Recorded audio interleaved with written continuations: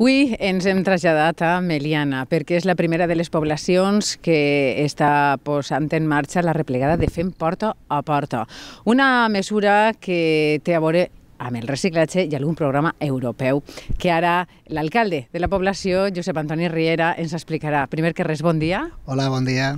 Quin és l'objectiu principal per a que tota la ciutadania estiga assabentada d'aquesta mesura que s'ha posat, posat en marxa justament aquests dies?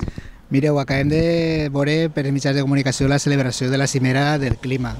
Eh, la resposta de l'Ajuntament de Meliana a un nou sistema de recollida precisament és donar eh, solucions als reptes i els problemes que tenim plantejats com a societat i en aquest cas la de residus a nivell europeu ja fa temps que s'està dient que hem d'augmentar eh, notablement els índexs de separativa de, dels residus en origen, en aquest cas eh, des de les nostres cases, i per tant eh, hem optat per un sistema que ara mateix és el que dona millors resultats, el que és més eficaç, que és el porta a porta i que està, sí que és cert que nosaltres serem el primer poble de, de l'àrea metropolitana, del, de l'àrea de, de l'Emtre, que és el nostre consorci, però certament ja està, és un sistema que s'està utilitzant en, en molts llocs i també a la comunitat valenciana ja en més de 30 municipis. Eh, és una nova costum, però tampoc és que sigui nova, perquè eh, fa temps eh, les cases eh, ho feien així, no? Baixàvem la bossa de fem al carrer. És una, és una nova costum a la que costa valga la redundància, acostumar-se no? la, la, el veïnat. Sí, és cert. La veritat és que el, traure el poal a la porta de casa era un, un sistema que era tradicional a municipis com, com el nostre, a l'Horta, i eh, bé, eh, també era eh, cert que en aquella època no fèiem tants residus i, i des de casa mateix eh, separàvem i reutilitzàvem molt. No? Eh, això ha canviat, ara hem estat 30 anys en el sistema de, de contenidors eh, fent molt més residus i això pues, ha generat un problema que, que ara s'ha de donar una solució perquè així no, no anem bé.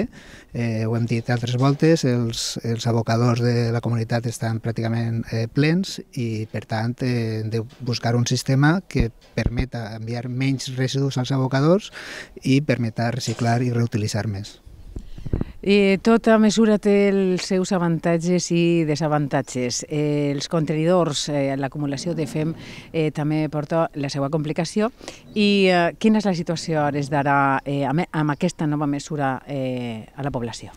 Bé, el, eh, també ho hem estat dient, el canvi de, els canvis d'hàbit, i ara mateix ho, ho has comentat, és el que més costa. Vull dir, hem estat eh, fent-ho d'una manera determinada molts anys i ara hem de canviar i això necessita un, un aprenentatge, una adaptació i evidentment pues, n'hi ha gent que mm, ràpidament pues, diu que bé, eh, ens adaptarem i n'hi ha gent pues, que li costa, que, que que no ho veu, que, que fins i tot eh, considera que no és la millor opció, però jo el que demanaria a la gent és que, bueno, que, que deixara funcionar el, el sistema, que, que participara i que aleshores eh, vera exactament quins són els problemes, perquè eh, també és un sistema que una vegada adoptat eh, permet que anem adaptant i millorant coses perquè eh, és una nova manera de, de treballar els residus i, i permet eh, pues, fer més coses que no eh, els contenidors oberts, que ahir sí que era, era molt difícil poder fer un treball col·lectiu perquè bueno, pues, cadascú feia el que considerava i en, en aquest sistema sí que és